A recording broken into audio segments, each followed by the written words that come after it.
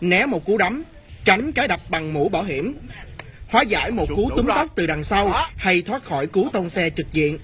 Đây là những kỹ năng cơ bản mà ai cũng có thể học được nhằm tránh những rủi ro khi ra đường. Là nhân viên văn phòng thường xuyên đi làm về muộn, chị Trâm tham gia lớp học để có thể an tâm hơn. có cái tình huống gì xảy ra thì mình cũng có thể ừm, phản phản xạ lại kịp thời và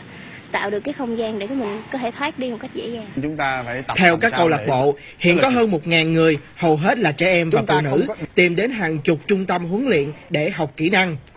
Những người tổ chức chương trình cho biết, những nội dung này họ biên soạn lại từ những thế tránh đòn của các môn võ lấy nhu làm chủ đạo. Người học chỉ cần nắm cơ bản, tự rèn phản xạ, nhưng sẽ có ít hơn khi rơi vào tình huống hiểm nguy.